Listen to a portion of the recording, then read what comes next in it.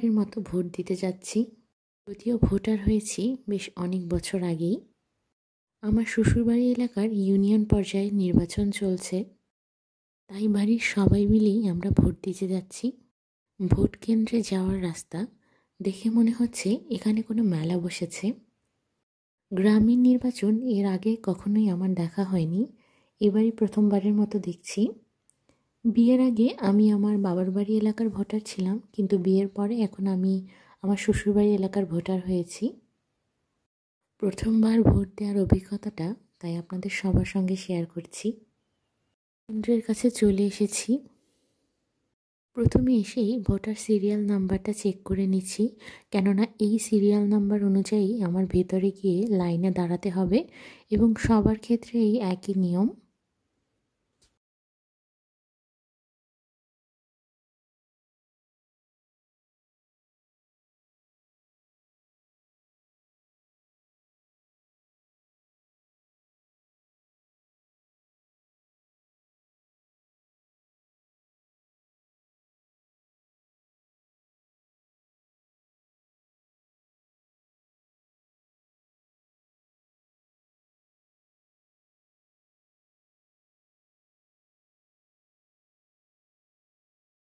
Vote দেওয়া শেষ করেই মেলার মতো যে জায়গাটা হয়েছে সেখানে এসেছি।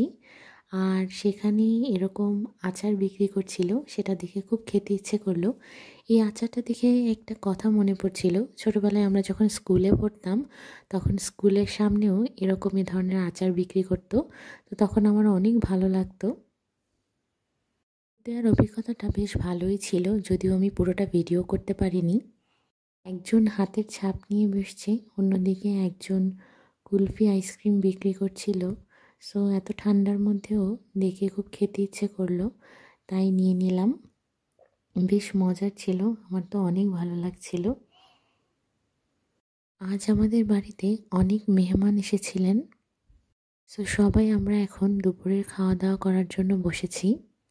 দেওয়ার পরে আমরা সবাই বাড়িতে চলে আসি।